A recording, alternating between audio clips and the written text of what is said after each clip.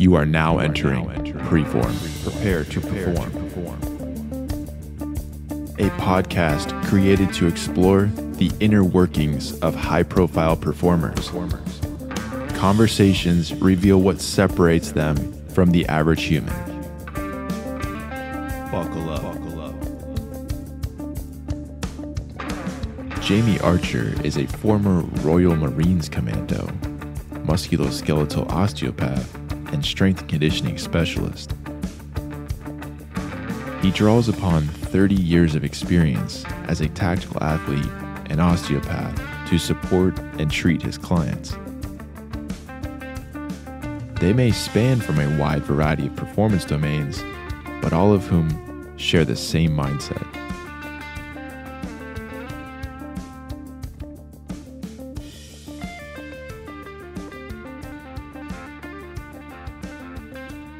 Without further ado, here is our conversation on preform.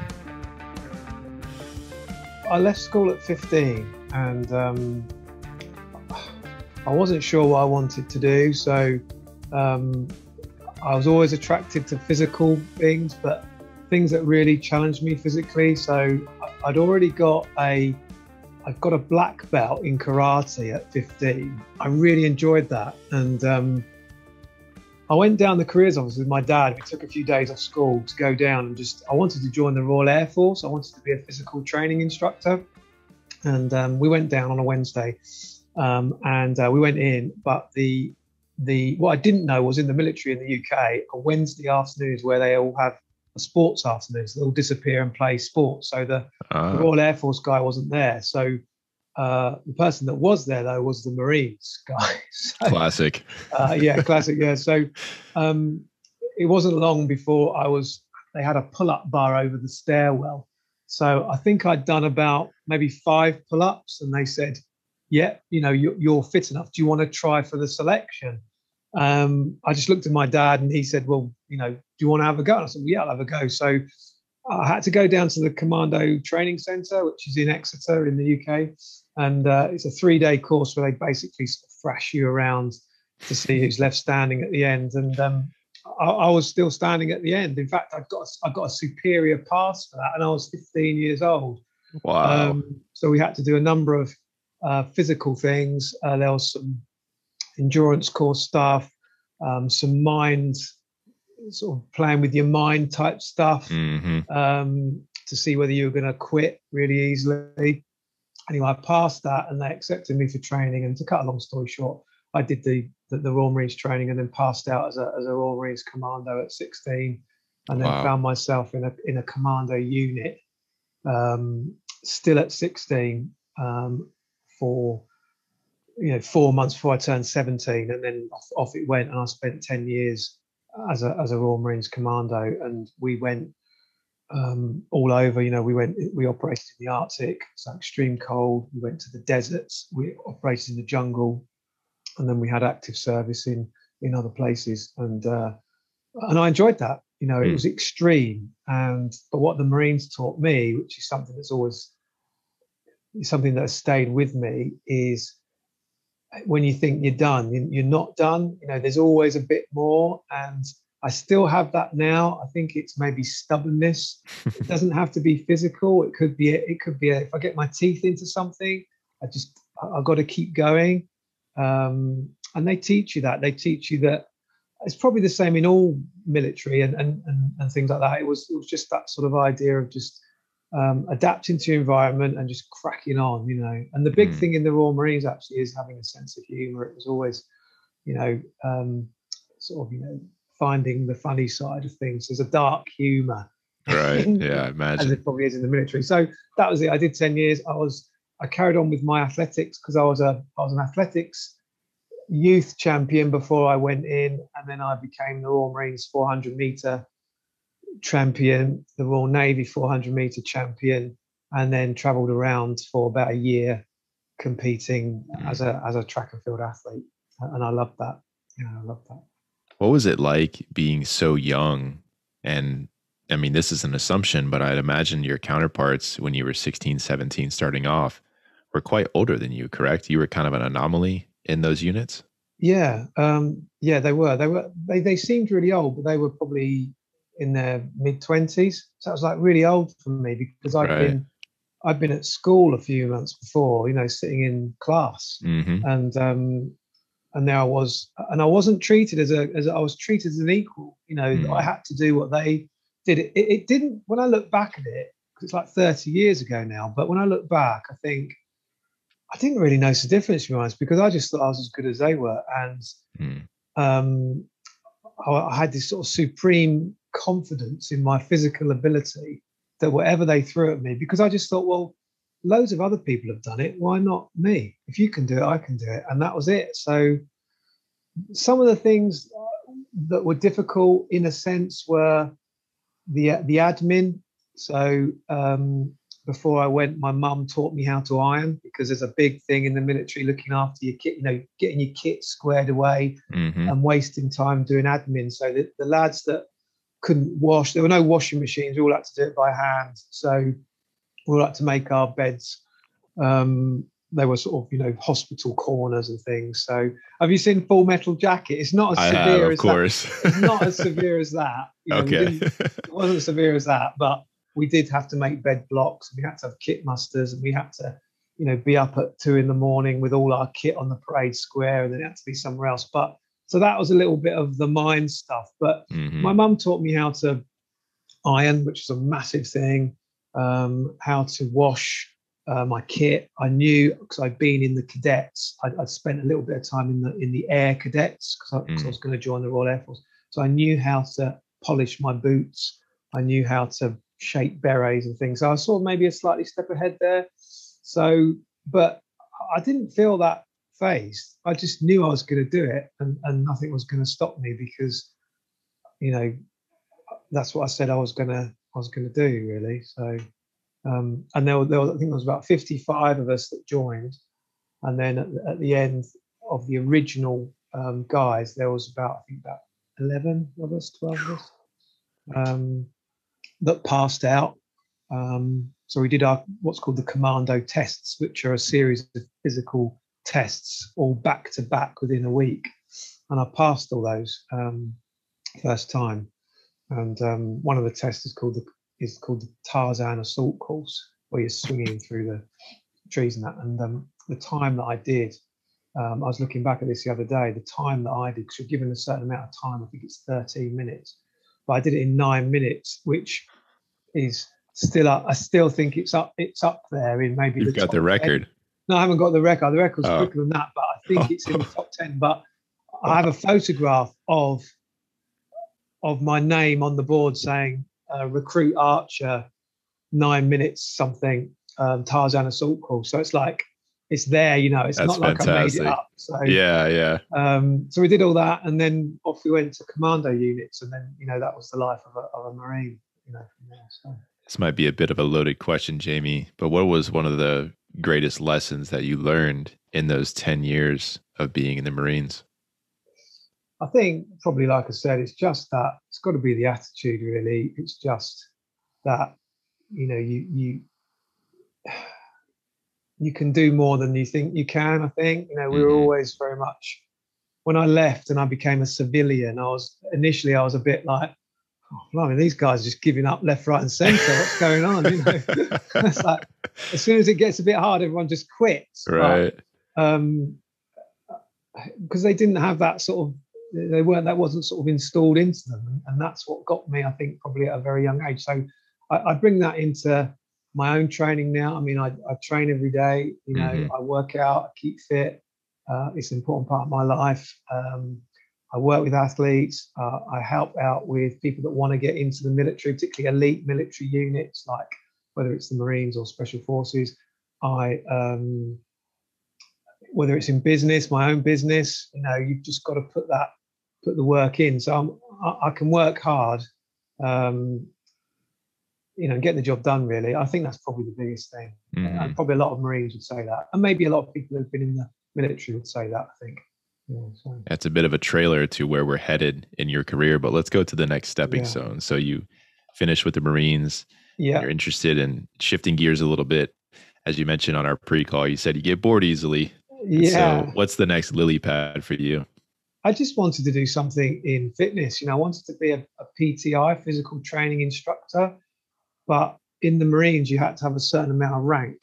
I, I got mm. to hmm. the rank of corporal, but then the the trade of PTI that they have to have enough jobs available, and they just weren't available.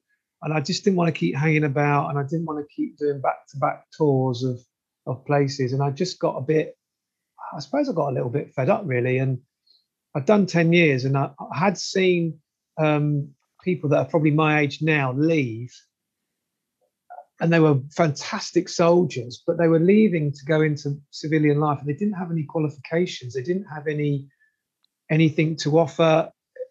Well, they didn't realize they had anything to offer. They had plenty to offer, but at that mm-hmm. time, they didn't have degrees and things like that. So a lot of them were doing things like, and there's nothing wrong with these jobs, but they were doing HGV driving, security, and I thought I don't want to do that. So I thought I need to get qualified. You know, I need to get sorted. So I went and did a uh, a course to be to become a PT you know, physical training, um, personal trainer, and, and that's where I headed. And I went and did that, and then I left the Marines and then set up as a PT. And I had um, as a PT and a sports therapist, I had two.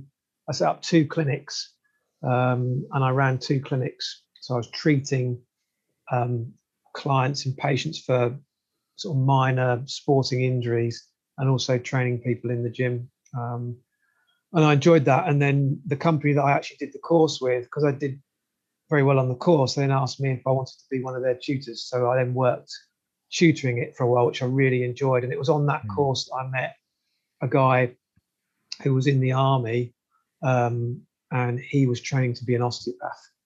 Um, and that the guy now still know him. His name's Carl Todd, Dr. Carl Todd. He's the um, he's actually the the England soccer osteopath at the moment. So, and he works for we have, we have the Premier League in soccer over here. So he works for a lot of the Premier League teams. So he inspired me to then go and study osteopathy because I thought, well, I was seeing a few people that some of the injuries I couldn't quite deal with, and I was like, oh, I don't know what to do. And I just thought I'm going to send them to an osteopath. I don't know why.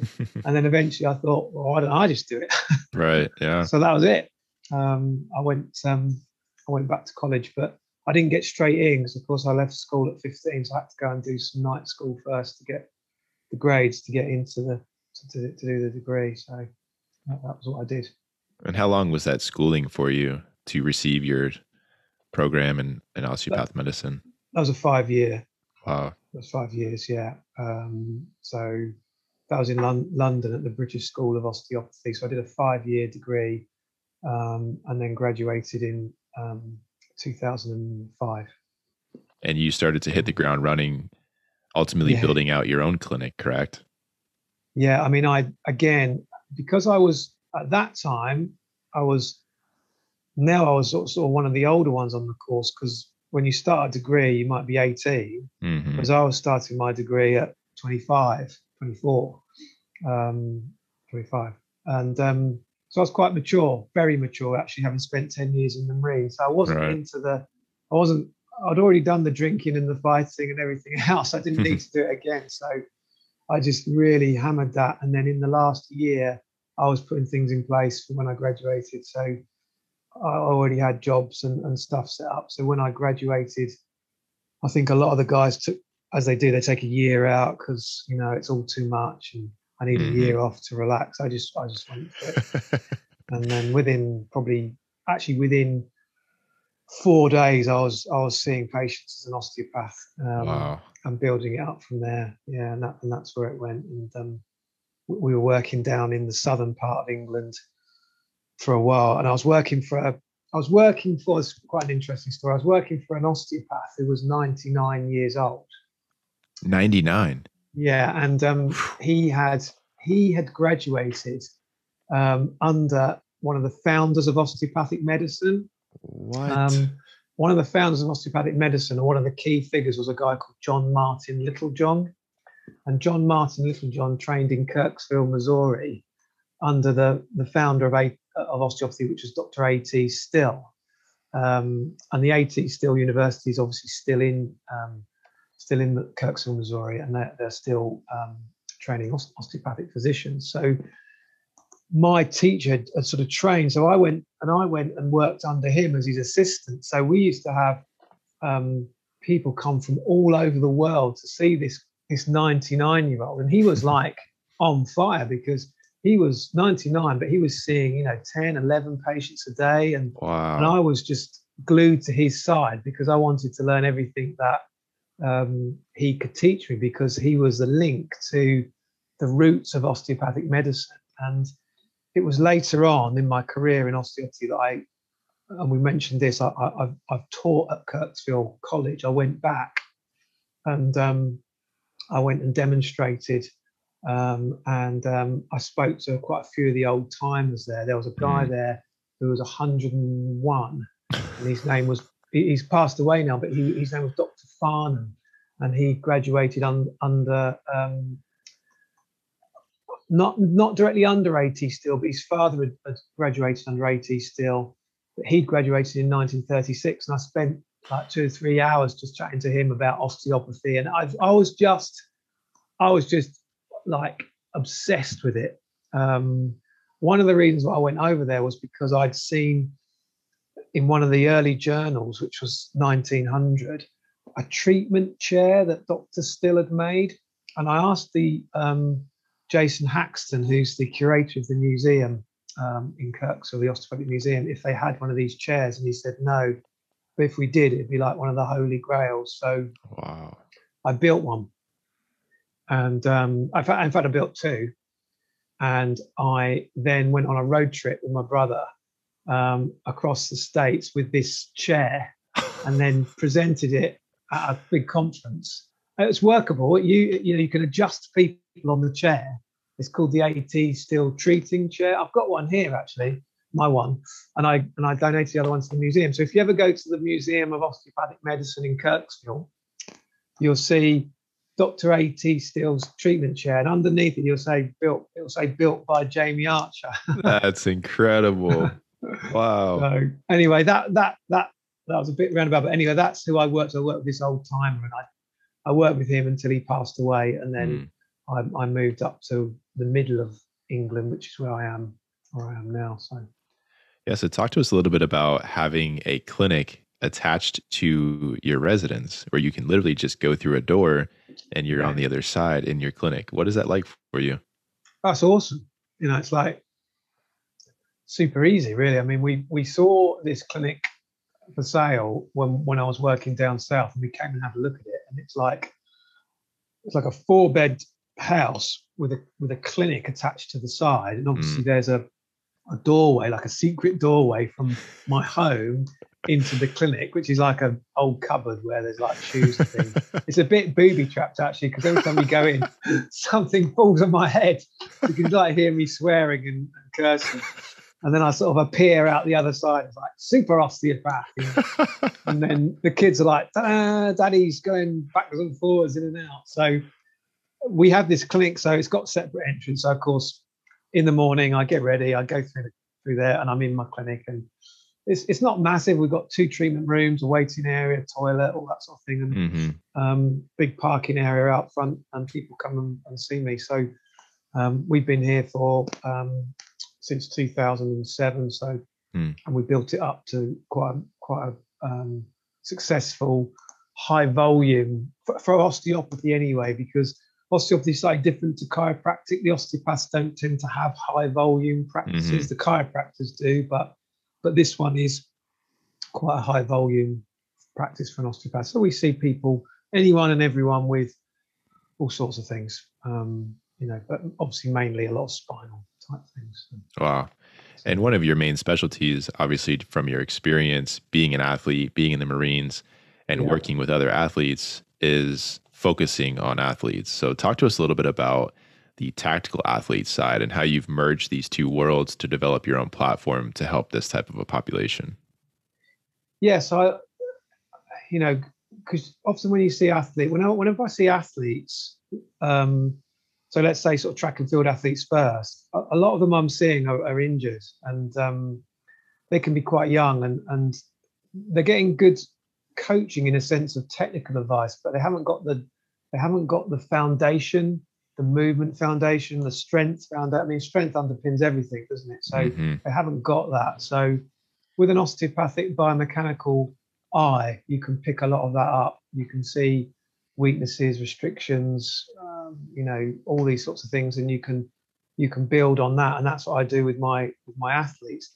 With with tactical athletes, it's quite big over here. The term tactical athlete, and um, it, it's really people that either in or wanted to get into or just want to be like military, law enforcement, fire service, because these men and women are, for me, they're the ultimate all rounders. They really are because, mm-hmm. and it's functional in the sense that they've got to do it for their job. You know, they have to, they have to sprint across the battlefield. They have to walk, you know, 30 miles with heavy kit on. They have to jump over that wall. They have to climb up that rope. They have to lift up that heavy thing. That's all the things that we did in the Marines. But it was never called tactical athletes. We just did it.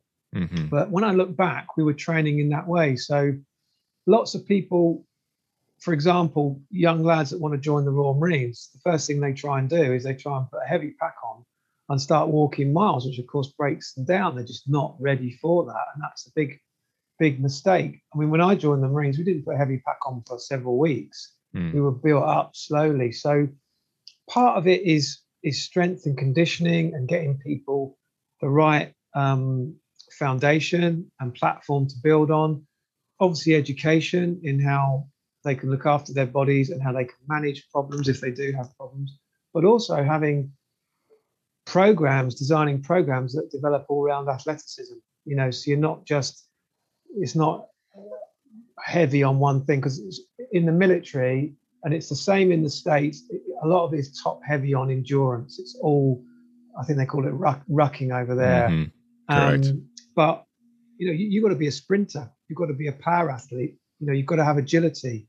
Um, it's not all linear. It's it's sideways movement, and, and it's it's so transferable in in all sorts of things, and it's more fun. So I have a um, I put together a digital um, online training group, uh, which is called Tactical Tactical Athlete, um, and I people can join, and it's a monthly fee, and uh, I send them training programs, advice, and they have they have access to me through an app. Mm. Um, they have they download on their phones, and um, we make it fun, and then they can go and do whatever they want to do, um, whether it's join the military or do a military type um, event Mm-hmm. So, for example, over here in the UK, we have a military event that is a um, it's a route march that's made famous by the SAS called the Fan Dance. Um, there's a mountain in Wales in the Brecon Beacons called Pen y Fan, and it's a famous mountain where the SAS selection takes place. So people want to do that. They want a little taste of of special forces selection. So right, yeah. what you have to do is you have to put on a heavy backpack and you have to literally, you know, ruck it up the hill and back again in a, in a time. So they need to know how to train for that. So that's the sort of thing, really. It's good fun and, and you know, it's good training. Rucking gets you fit, but you've got to be fit to ruck, as they say. So. so what's interesting about this is your interest in fitness and conditioning ultimately leads you back to school again. And now you're studying strength and conditioning. So talk to us a little bit about how you're intending to weave that into your practice as an osteopath, but also training these tactical athletes and just humans in general. Yeah, I mean, I was finding that with the osteopathy, uh, for example, I was doing what like a lot of osteopaths and actually what like a lot of therapists do. It was like all about the therapy. You know, osteopathy is the most amazing thing ever, and everyone should have it. But it was wasn't long before I realised that it's just a piece of the pie. You know, mm-hmm. you can't take on people's health for them. You have to give them you have to empower them to do other things. So with my and with osteopathic um, training, we we touched on physical fitness and strength and conditioning, but not a lot. That's a that's an added extra. So, but with my knowledge, I was finding that I could help people a lot more by you know exercise prescription, rehab, prehab, all the things that come with it. So that was making my successes better. So um, and I've always loved that. That goes all the way back to being that 15 year old wanting to join as a physical training instructor. Mm. And I, but when I was 15, there was no such thing as a degree in strength and conditioning. Um, but but there is now. And of course, strength and conditioning isn't. It's not personal training. It's not workouts. It's it's training people for performance for a certain mm-hmm. goal, mm-hmm. not just training for training's sake. So I wasn't interested in toning up or getting some abs or making your biceps 16 inches. I wanted to know, you know, do you want to do this? Do you want to join that? Do you want to run a mile in four minutes? That's what I'm interested in. So that's training with performers and athletes. So when I um when I was sort of again getting itchy feet a few a couple of years ago, and certainly over this lockdown, I thought, right, time to do something else again. And um, I did a, I, I've done a, um, a level four coaching. So I'm a certified strength and conditioning coach, but I wanted more.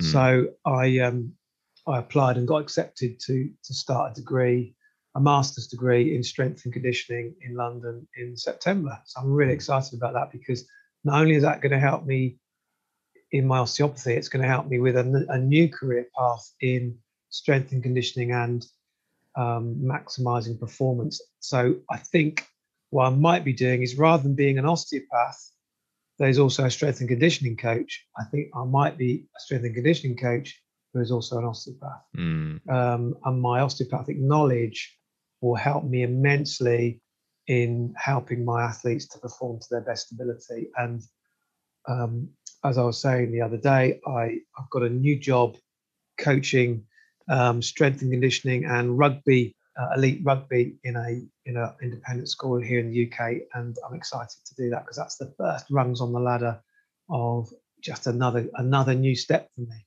So I'm excited. Yeah, I wanted to I wanted to ask a little bit more about that. I know on the pre-call you mentioned this job that's starting in September, yeah. along with your program itself being in strength conditioning. Yeah. What are your intentions for those athletes? And what do you plan to bring them? I know you have a load of experience being in the Marines and as a successful yeah. osteopath. But what is it that yeah. you plan to to give them moving forward? I'm going when I the head of sport at this at this um this academy again is is very interested in like a lot of actual heads of sports and directors of sport is keeping their athletes healthy. Um, mm-hmm you know, we, we can all put together training programs. We can all tell you to do this or do that, but it's um, reducing the amount of injuries.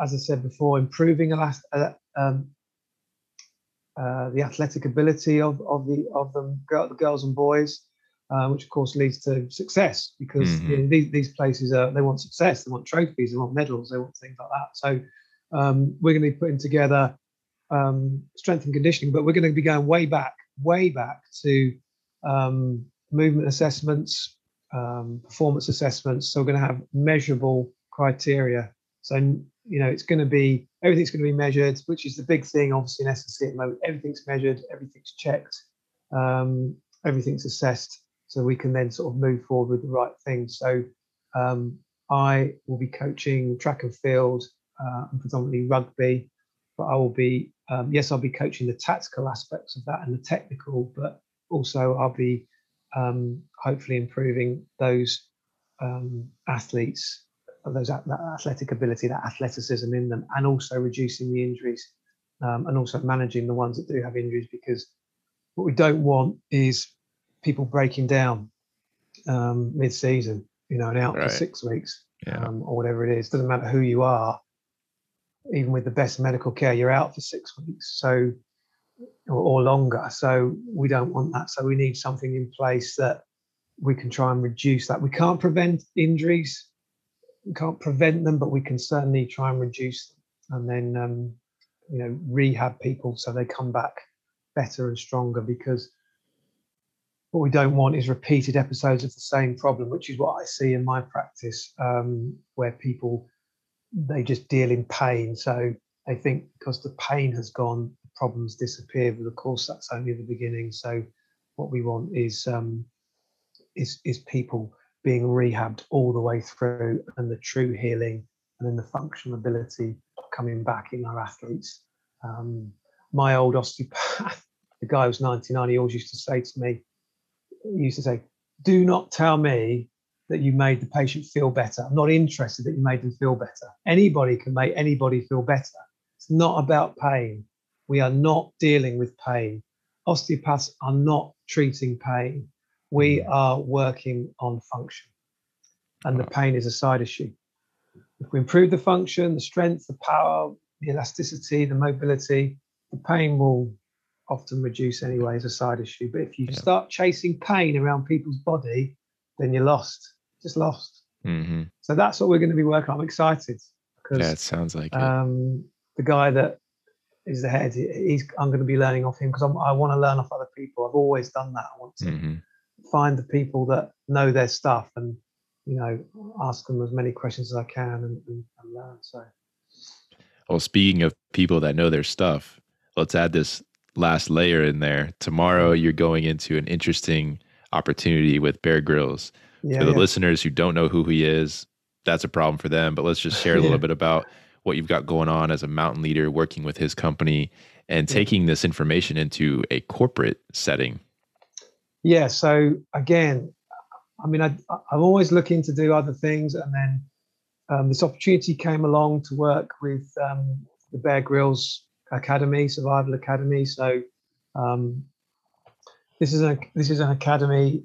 I work as, a, as an instructor um, for the Bear Grylls Academy. So what we do is um, this is a corporate event I'm doing, but we also work with with anyone. But we use um, leadership, team building, um, physical testing to help sort of get the best out of out of people. So this event that we have tomorrow is a corporate event for, for a, major company in London, um, where myself and two other instructors will be taking a day of, as I say, leadership skills in order to help their company um, improve in sort of, I suppose, the cutthroat world of, you know, business. it's, it's, the same sort of thing. It's, you know, whether it's high level sport, high level business. So we'll be putting um, these people through sort of stressful situations and making them make decisions in stressful situations. I mean, in fun, it's fun, right. but um, and and, and they'll they'll love it. There'll be a lot of ice,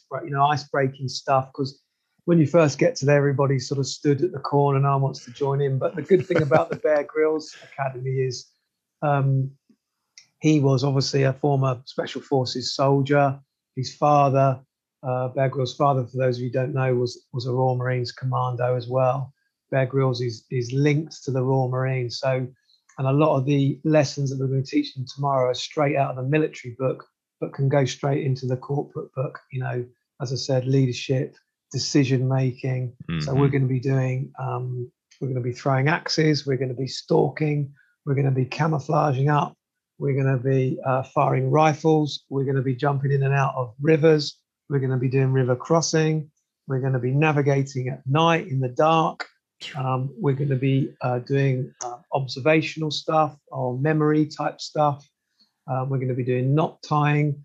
Um, and then we're going to be doing casualty evacuations whilst I'm going to be throwing smoke grenades and rockets at them. so there's going to be lots of whiz bangs and pops as they're going to be trying to tie knots. And it's exactly what we, in a, in a way, what we did in the in the Marines. You know, you've got all sorts of stimuli coming into you, but mm-hmm. you've got to focus on the task in hand, and that could be you know that that crosses over in a corporate world it crosses over in, in an elite world if you're mm-hmm. competing mm. you know you're in the stadium there's all sorts of distractions going on so i'm looking forward to it they're, they're good fun it's good fun there's a lot of um, things that we do with the bear Grylls. that's just one of them we also do stuff up in scotland and um, abroad as well so i'm involved in that and my again my 10 years in the royal marines comes in very handy uh, for that so I bet.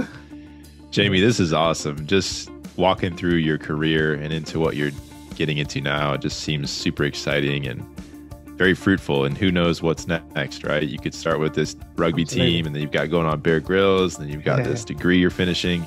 I mean, you know, a year or two from now, you might have something else under your belt, and I wouldn't be surprised. But I do want to thank you for taking the time to join Preform.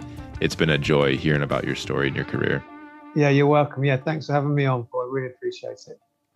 Are you ready to optimize? Perfor Humance is the evidence based approach to optimal performance, health, and well being. Visit perforhumance.com for more information.